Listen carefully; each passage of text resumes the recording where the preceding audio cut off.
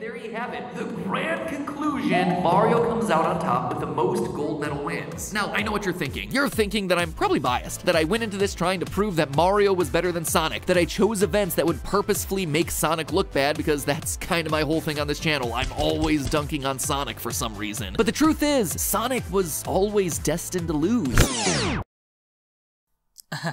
um, hi, I'm JayPig. Uh, the clip that you just watched was a part of MatPat's video explaining why Mario would beat Sonic at the Olympic Games. Well, not the normal Olympic Games by any means. Around six months ago, MatPat started a project to declare the true winner of the Olympics, or the Weird Olympics, as he states. As you just saw in the past clip, MatPat stated that he was not being biased, but I'm here to call falsehood. That's right, MatPat is being biased, even if he doesn't know it, and I can explain why.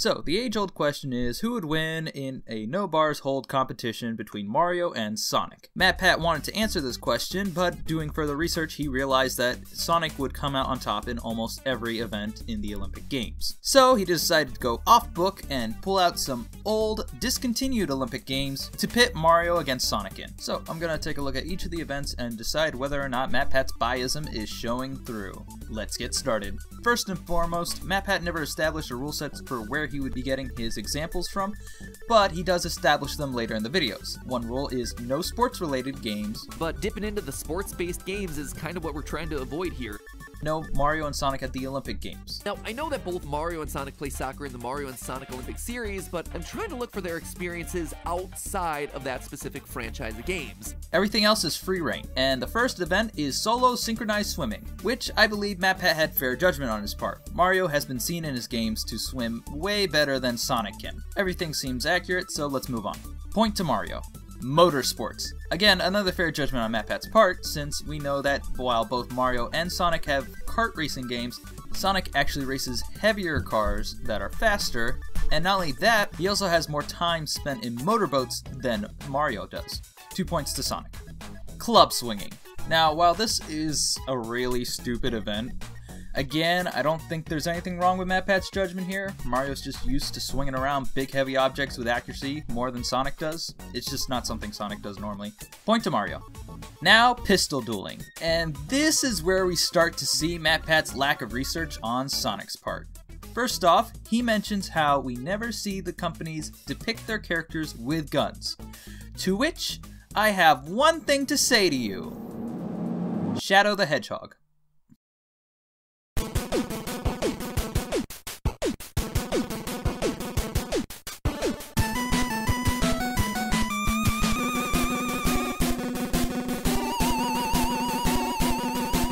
Most Sonic fans connect one word to the Shadow the Hedgehog game, and that word is guns. Now, true, it's Shadow using the guns and not Sonic, but MatPat later establishes in his second video that we don't have to see Sonic doing it, we just have to see Sonic characters doing it. If they can do it, Sonic can too. And then later in the video he says, if you don't see Sonic doing it, then Sonic is not doing it. I mean, really, Matt, come on. Stay consistent, please. Anyways, if this is not enough for you, well then, I have one more ace up my sleeve. Has anyone heard of Sonic Shuffle? Sonic Shuffle is a minigame collection much like Mario Party, uh, but worse. Now we can use Sonic Shuffle for Sonic since later MatPat uses Mario Party for Mario's case, so it stands to reason that we can use the same for Sonic. There is a minigame in Sonic Shuffle that shows Sonic using gun, and that minigame is Sonic Gunslinger. Point of the game is to stand in one spot, aim your gun, and shoot your target. So as we can see here, Sonic does have a game where he uses a gun. I honestly feel like this is a better source than using the comics, since it's actually an in-game thing. Now, I know this still leads to the whole thing being a draw, but what it does show is how Matt didn't do really any research on Sonic's part when it comes to guns. He didn't even know about Shadow. So that left off part 1 as a draw, but it's part 2 where things really start to break down. Town planning. Now, I agree with MatPat on this one that Mario has more experience with building than Sonic does, so yeah, point to Mario. Moving on! Equestrian High Jump. Now, I feel like this one is actually MatPat pandering to Sonic, so the whole thing does not appear rigged. This is where Matt gets a bit wishy-washy with his rules. According to Matt, you don't need to see Sonic on the horse for him to be able to ride a horse, you just need to see his friends do it. And we will come back to this point later. However, I do feel Mario's case is actually stronger here than MatPat claimed. He says that we've never seen Mario ride a horse, and that's true. But we have seen him ride something else. A Yoshi. Yoshis are dinosaur-like creatures that have been frequently showing up in the Mario franchise, and their main purpose is to be ridden by Mario. I mean, sure, they're not horses, but Mario rides them like one. It's more experience in riding than Sonic has, so I feel like this should have been a bigger case for Mario than Sonic. So again, I feel like this one should come out in a draw since Mario rides Yoshi's like all the time. Now, this part is important because this is where MatPat establishes the rule that he wants to stay away from sports-based games. So remember that one. Air Balloon Racing. So again, I agree that Mario would win because we see him use balloons a lot more in his games than Sonic, but you should also remember how he said that Sonic would probably be disqualified due to having someone else control his balloons. It's an important point for later. Point to Mario. Fishing. So, right here, MatPat discredits Sonic fishing because you don't see Sonic.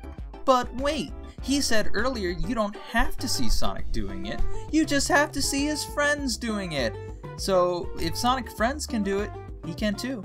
Also, the game is called Sonic Fishing. I don't think Sega meant for anyone else to be considered fishing than Sonic. Draw. Bowling.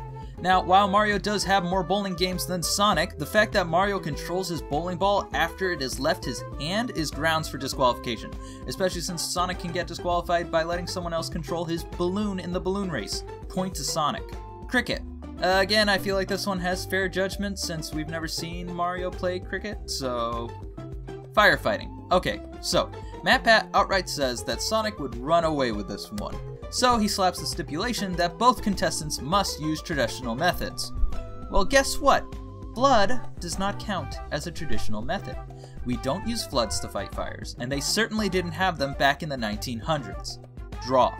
Gaelic football. So again, MatPat uses two sports games from the Mario series to say that he could play soccer, even though he was saying he was trying to avoid them. But it's the next one that really bugs me. He uses a cancelled Mario football game to justify Mario's capability at the second half of the game.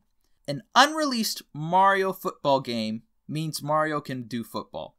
Well then, if that's the case, Matt, we can do the same for Sonic. Because guess what? Sonic has a cancelled sports game too. Back in 1995, there was a Sonic game in development for the Sega 32X called Sonic Sports. This game was to include sports such as basketball, volleyball, and soccer. Oh, we got him! If Mario's going to use his cancelled football game, Sonic can use his cancelled sports game. Now, I know this is only half the battle for Sonic, since Gaelic football is a mix of soccer and football, but I feel like this is important to remember for a later event. For now, point to Mario. Mario also gets two points for American and Australian football. Jeu de Paume, which is basically tennis. And MatPat used sports games for both of his points. So again, draw. Korfball, which uh, I guess is a bit like basketball. MatPat stated that Sonic had no experience with basketball, but as we established earlier, Sonic can use his cancelled Sonic Sports game to his advantage, and since basketball was listed as one of the games, we can call this one a draw. Savate, Glima, and Budo. Yeah, I feel like MatPat was right here since Mario doesn't really have any fighting games outside of Smash Bros, and Sonic has at least two. So, three points to Sonic.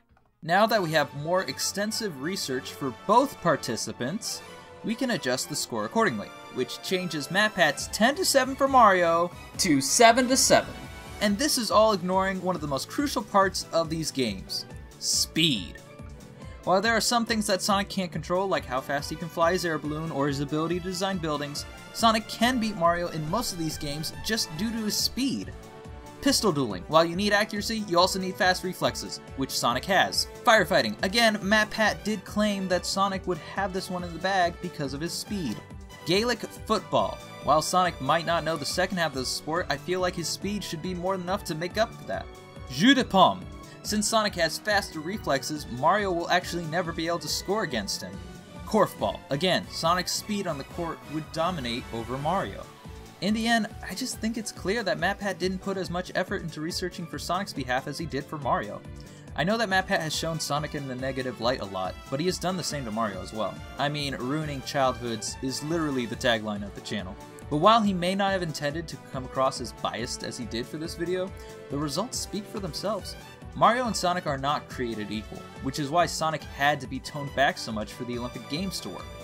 But the purpose of this type of conversation is to ask, who would win in a no-holds-barred competition? And MatPat didn't do that. He just slapped more restrictions on Sonic. But hey, that's just a theory. A game theory theory. Well, that's the end of the video. Uh, if anyone has any additional arguments or counter arguments, uh, be sure to leave them in the comments. Thanks. Bye.